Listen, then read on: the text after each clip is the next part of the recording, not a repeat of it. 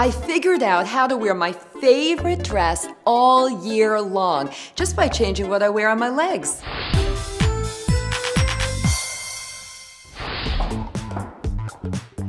I hate the look of traditional stockings. They look a little old ladyish, don't you think? But I have a really great option nude colored fishnets paired with nude colored pumps. Really elongate your legs and it makes this dress look ready for spring or summer.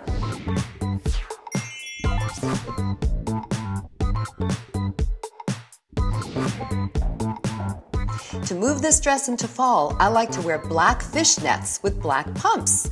I can go from day to night in this look.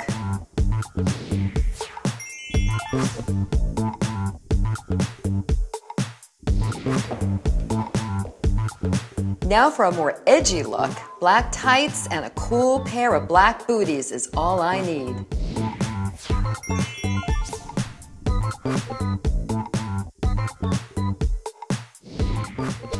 One dress, four seasons.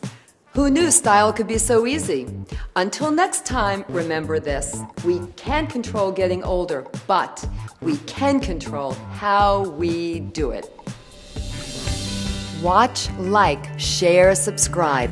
Leave your comments below and connect with me on Facebook, Twitter, and my blog on aarp.org.